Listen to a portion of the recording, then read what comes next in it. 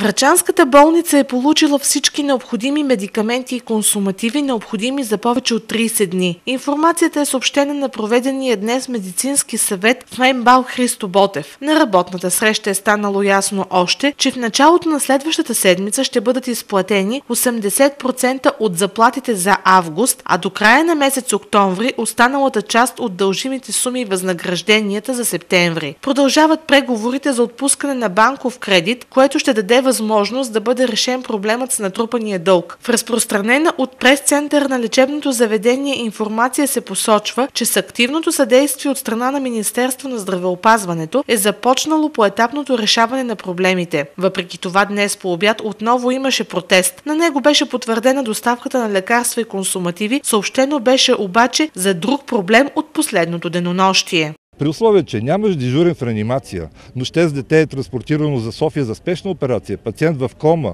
с инсулт интубиран е транспортиран в Монтана, това не показва мерки за оздравяване на дружеството. Моите уважения. Трябва да се почне от там, от функциите на тази болница.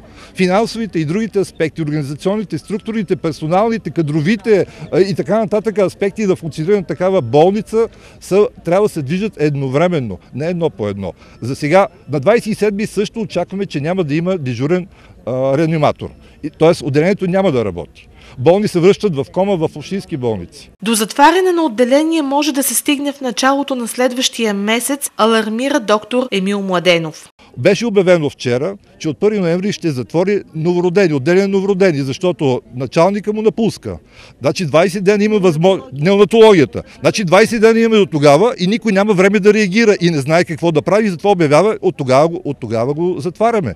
Но имате в предвид, че а, е обсъждан дори вариант да се затвори тотална болница, да не работи нито лаборатория, нито рентген. Има и такъв сценарий при най- най-драматичния развой на нещата. Заради напускането на три медицински сестри вече се затруднява изготвянето на график в отделението по съдова хирургия. В същото време от болницата съобщиха, че поетапно лекарите са започнали да изтеглят депозираните през последната седмица оставки. Ако кадровата криза обаче се задълбочи, потърпевши ще бъдат пациентите. Не всеки може да отиде да се лекува в София или в Монтана или не знам къде.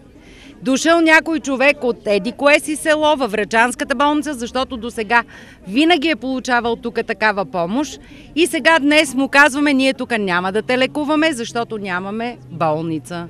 Ние сме тук в защита да, е, да има болница. Протестиращите медици бяха категорични, че за да се излезе от кризата, трябва да се поеме отговорност от тези, от които зависят нещата и да се действа в кратки срокове.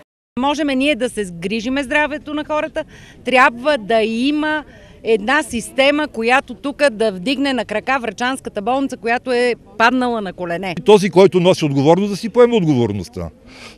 Да намери начин ако изпълнява още тази функция, да организира нормалното функциониране на възловите отделения в тази болница. Нормалното зареждане на аптеката с медикаменти.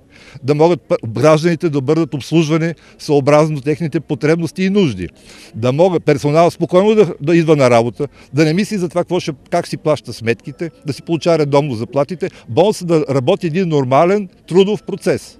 Излезлите днес на булеварда медици бяха категорични, че ще спрат да протестират едва когато всички обещани действия станат реалност.